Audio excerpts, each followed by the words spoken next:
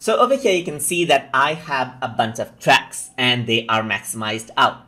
But if you want to just um, like make sure that they take less amount of space, then you can go around onto the left side and you can see the small triangular icon right here.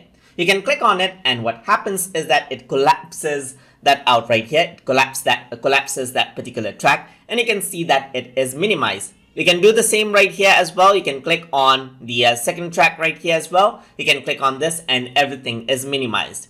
To expand this out, you can either pull right here or you can go around and click on the expand button. That is the minimize button turns into the expand button now. You can click over here as well. So you can go around minimize this or expand this right here. Once you minimize this what happens is that you see that it is in the collapse section right here. Nothing happens right here because it is uh, it is in the same size. So you can expand this you can collapse it. And if you were to pull it now you can collapse this again. So you can collapse to make sure that they take less amount of time right here. You can go around and then still uh, um, work, work around with different options over here. But to work around with it in detail, you need to go around expand this so that you can select and delete off portions from the audio track right there.